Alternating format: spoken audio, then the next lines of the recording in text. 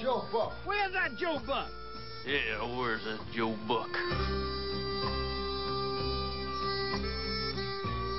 I'm Joe Buck from Texas. And Enrico Rizzo from the Bronx.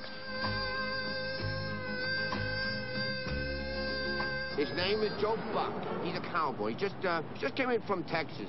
Cowboy, huh? I ain't a for real cowboy, but I am one hell of a stud. And how come you ain't scored once the whole time you've been in New York? Because I need management, damn it. Let's go. Hey, I'm walking here. I'm walking here. You were going to ask me for money? How much is this gonna cost me? Twenty bucks. You big Texas longhorn bull. No rich lady with any class at all buys that cowboy crap anymore. Frankly, you're beginning to smell. And for a stud in New York, that's a handicap. I, I should never have asked you up here. You gotta watch out for that. I'm gonna use you. I'm gonna run you ragged. Hey, listen, don't get sore or anything, okay? I don't think I can walk anymore. I'm scared.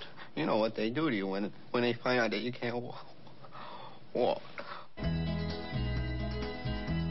Everybody's talking at home.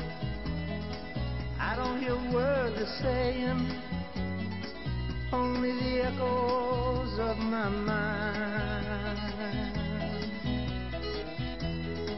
People stopping staring.